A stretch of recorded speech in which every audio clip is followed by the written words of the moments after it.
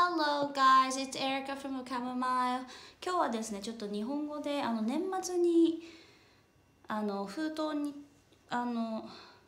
入ってたというか配布したハビットトラッカーがあると思うんですけどそれ使い方について全く触れていなかったので年末に。ちょっとビデオを作ってあの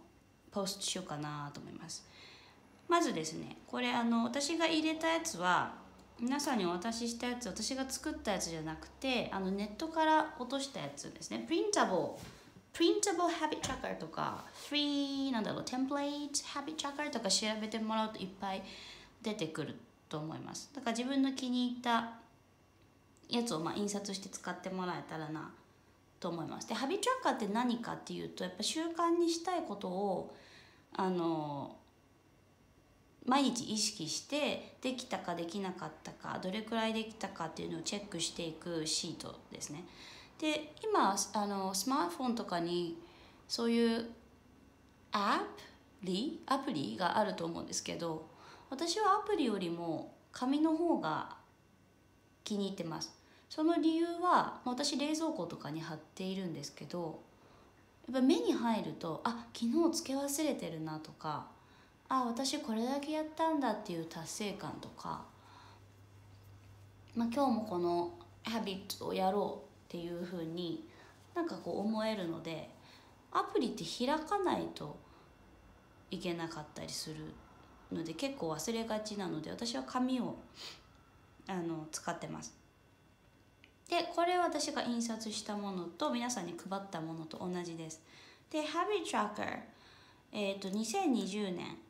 でここに薄くマンズが書いてあります from January to December so it's 2020 January now ここに丸を打ちますねで日付がこう first から 31st まであるんですけどえーと、私はちょっと曜日を上に書くのが好きなんで Saturday and Sunday only though Saturday, Sundays, Saturday, Sundays だけ